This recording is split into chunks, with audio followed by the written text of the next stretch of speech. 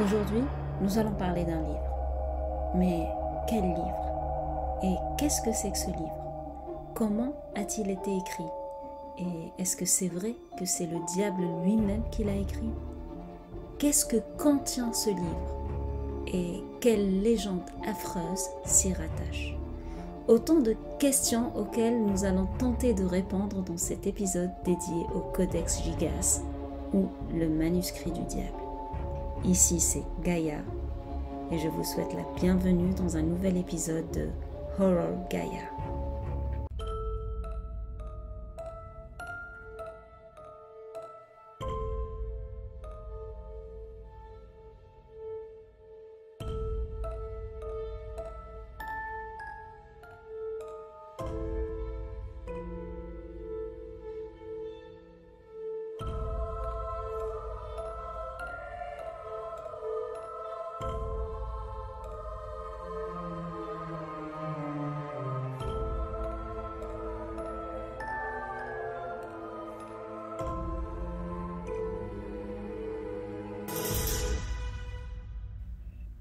Le Codex Gigas est célèbre pour deux principales raisons. La première est sa taille. Le Codex Gigas a été nommé ainsi en référence à sa taille. Gigas provenant du grec pour géant. Donc, Codex Gigas veut littéralement dire le livre géant. Et c'est peu de le dire car ce manuscrit, comme vous allez le voir, est vraiment immense.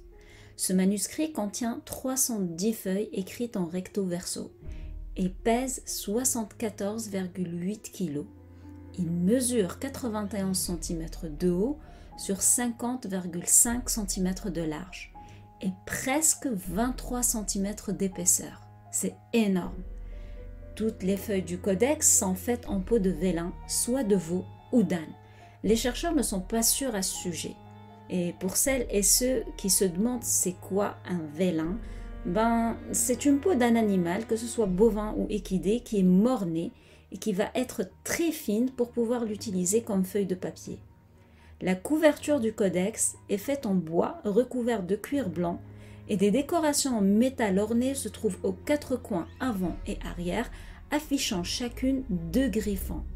De chaque décoration dépasse un genre de bouton en métal sur lesquels reposait le codex alors que des trous à l'arrière pouvaient avoir été à l'origine d'une chaîne qui reliait le livre à une table ou à un bureau. Premier fait horrifique, vu que les dimensions et l'envergure du manuscrit sont énormes, un vélin n'aurait suffi que pour faire deux pages seulement. Sachant que ce livre est fait de 310 pages, il aurait fallu 155 veaux ou ânes pour le compléter. Donc première question, comment le ou les auteurs ont-ils fait pour avoir autant de peau? La question peut sembler anodine, mais elle prendrait toute son ampleur si je vous annonce que le manuscrit est censé avoir été écrit en une seule nuit. Oui, une seule nuit. Mais je reviendrai sur ce détail un peu plus tard. Le deuxième fait pour lequel ce manuscrit est célèbre est une représentation très précise du diable. À la page 577, le codex représente le diable en pleine page, avec un visage vert, une langue fourchue rouge, deux cornes et des cerfs sur ses mains et ses pieds. Dans cette illustration, le diable porte un pagne d'hermine, or la fourrure d'hermine était un symbole de haute royauté au Moyen Âge, ce qui est assez déroutant sur la position du diable pour l'illustrateur. Voulait-il dire que Satan était le prince des ténèbres ou voulait-il avancer une adoration autre? Bref, cette illustration controversée a fait que le Codex Gigas soit surtout connu sous le nom de The Devil's Bible ou la Bible du diable. On y reviendra aussi un petit peu après, mais pour le moment, un peu d'histoire. Qui a découvert ce manuscrit et où est-il maintenant? Les véritables origines du codex sont inconnues mais les monastères associés à son histoire étaient tous situés en Bohême, soit l'actuelle République tchèque. Aussi, le texte fait beaucoup référence à l'histoire de cette région. Donc, tous les historiens supposent qu'il a été écrit en Bohême. Une note inscrite dans le codex indique qu'il a été mis en gage par les moines de Podlès dans le monastère de Sedlec en 1295. De là, il est réapparu en Brevnov près de Prague. Ensuite, il faudra attendre jusqu'en 1594 pour le voir réapparaître lorsque le roi Rudolf II l'a emmené dans son château à Prague. Le codex va y rester jusqu'en 1648, année du siège suédois sur Prague, qui va marquer la fin de la guerre de 30 ans. L'armée suédoise a pillé la ville et parmi son butin se trouvait le codex Gigas qui a terminé sa route à Stockholm. En 1877, le codex Gigas est devenu propriété de la Bibliothèque nationale de Suède à Stockholm, où il se trouve encore aujourd'hui. La légende veut que ce manuscrit soit maudit et qui causerait le malheur de toute personne qui le posséderait, allant du monastère à un incendie dans une bibliothèque en passant par le roi Rudolf II. Heureusement, à date, la Bibliothèque nationale semble immunisée contre la malédiction du codex et vous pouvez toujours aller l'admirer en vrai. Maintenant, la question que vous vous posez probablement, c'est qui a écrit ce manuscrit? Et c'est quoi cette histoire? D'il a été rédigé par euh, le diable ou euh, qu'il a été rédigé en une nuit? Personne ne sait exactement qui a écrit le Codex Gigas ou comment le scribe qu'il a fait a réussi à maintenir une uniformité dans son écriture tout au long de sa vie. Cependant, vers la fin du manuscrit, le nom de Hermann Inclusus, qui signifie Hermann le reclus, apparaît à titre posthume. Ce nom est alors devenu partie intégrante de la légende du Codex Gigas.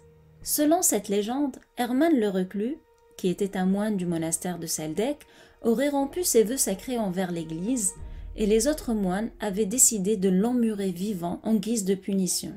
Hermann a alors négocié sa vie contre le fait d'écrire un livre en une nuit. Ce livre contiendrait toute la sagesse et les connaissances humaines et honorerait son monastère pour l'éternité. Bien sûr, s'il ne réussissait pas son coup, il allait être exécuté et dans le cas contraire, il garderait la vie sauve. Pour Hermann, ce deal était une bonne façon d'expier ses péchés et d'éviter la punition. Hermann s'est rapidement mis à la tâche. Mais lorsque minuit a sonné, et alors qu'il n'avait écrit qu'une dizaine de pages, il s'est rapidement rendu compte qu'il serait impossible pour lui de terminer le manuscrit avant le lever du soleil le lendemain. Complètement désespéré, il a décidé de conjurer le diable et de conclure un pacte avec lui. Satan l'aiderait à terminer la rédaction du manuscrit avant le lever du soleil, en échange de son âme et d'une grande illustration du diable dans le codex.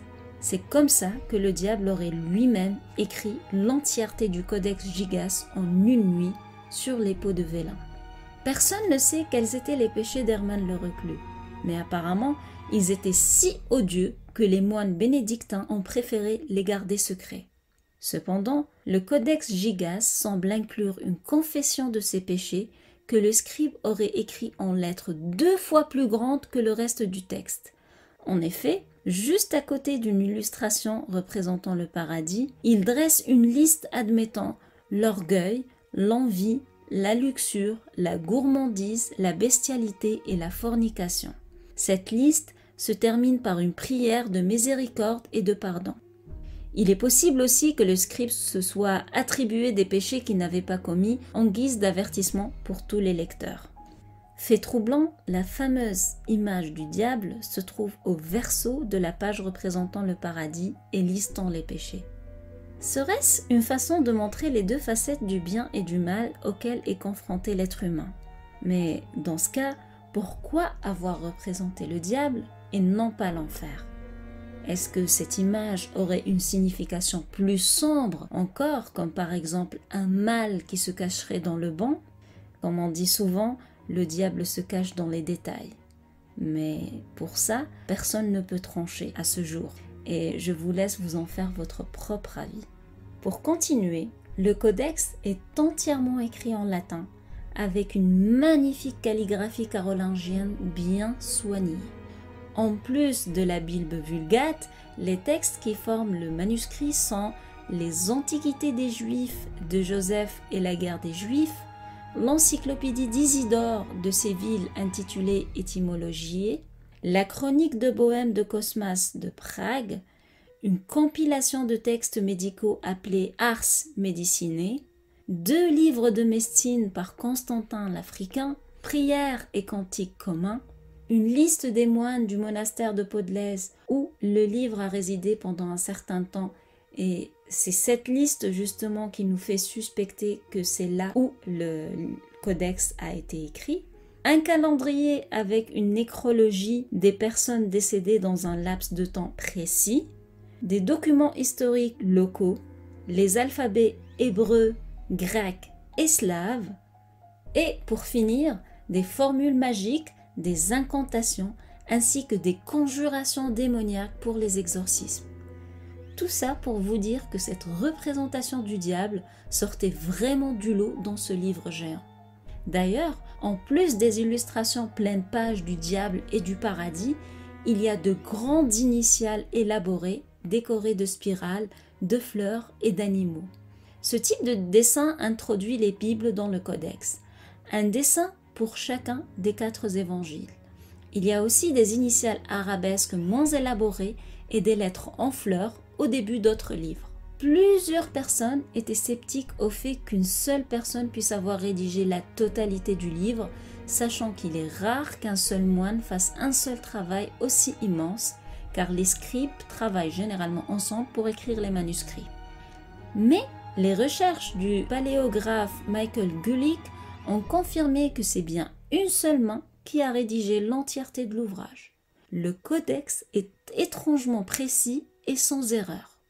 L'incroyable uniformité du texte et des illustrations dans les 620 pages du livre, soit les 310 pages en recto et verso, pourrait suggérer que quelqu'un a rédigé le codex en un temps assez restreint.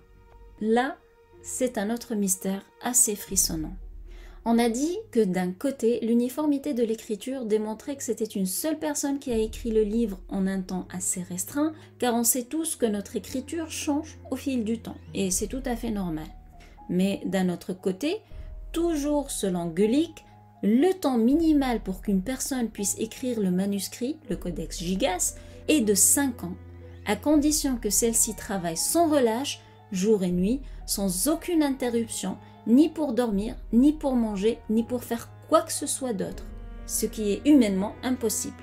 Donc, à l'échelle humainement faisable, il aurait fallu 25 à 30 ans pour que le scribe écrive tout le manuscrit. Mais là encore, cette durée et même les 5 ans ne correspondent pas à l'uniformité de la calligraphie observée sur le livre. Assez troublant, non? Malgré les thèmes démoniaques, la controverse et la légende voulant que ce soit le diable qui écrit le codex Gigas, reste que son contenu n'est pas considéré satanique. En fait, comme je l'ai déjà mentionné, il comprend plusieurs parties de la Bible et d'autres écrits religieux. D'ailleurs, beaucoup de gens le considèrent plus comme un livre saint. Et l'une des illustrations contenues dans le livre décrit l'histoire de la création du livre de la Genèse. Elle est représentée par un orbe bleu qui représente le ciel, les étoiles et la lune, et en dessous se trouve un orbe vert représentant la Terre. Avec toutes ces infos amassées autour du codex Gigas, un mystère plane encore. Pourquoi un moine a-t-il entrepris d'écrire un tel livre et comment a-t-il fait pour finir sans changement dans son style d'écriture et sans commettre la moindre erreur pour finalement avoir en fait un manuscrit parfait? Pourquoi a-t-il illustré une image pleine page du diable sous des traits royaux Pourquoi a-t-il ajouté des formules magiques et des incantations démoniaques, sachant que toute cette partie du codex devient alors loin de tout ce qui est prôné par les trois religions monothéistes qui considèrent la magie comme un péché majeur et le diable est loin d'être considéré comme un prince. Qui est Hermann le Reclus? Bref, où commence l'histoire et où se termine la légende? Autant de questions qui restent à ce jour sans réponse et un livre aussi controversé que mystérieux. Si vous voulez le voir, il est toujours exposé à la Bibliothèque nationale de Stockholm. Sinon, vous pouvez toujours le consulter en ligne et vous en faire votre propre avis. J'ai hâte d'avoir votre avis dans les commentaires et je vous rappelle d'aller voter dans l'onglet communauté pour le prochain épisode. J'ai vu qu'il y avait pas mal de personnes qui ont eu la gentillesse de répondre à ma question sur euh, vos croyances paranormales versus scepticisme dans l'onglet communauté et il y avait une majorité qui était pro-paranormal, tout comme moi du coup. Vous l'aurez compris, je suis pas une personne sceptique à ce monde, Mais je vais pas non plus plonger la tête la première dans le paranormal, je vais toujours essayer de rationaliser. Mais je dois avouer que j'ai vécu pas mal de trucs euh, dans ma vie que je m'explique pas autrement. Bref, tout ça pour vous dire que du coup, vu que vous êtes une majorité quand même à aimer ce genre de sujet, je vais inclure de plus en plus souvent euh, des légendes historiques du monde entier, de toutes les cultures, histoire de peut-être vous faire connaître des faits que vous ignorez à ce jour, vous faire découvrir d'autres légendes qui viennent d'ailleurs que les États-Unis l'Europe. Donc euh, c'est ça. N'oubliez pas d'aller voter pour votre prochain épisode qui, je suis sûre, en promet et quant à moi, je vous dis ciao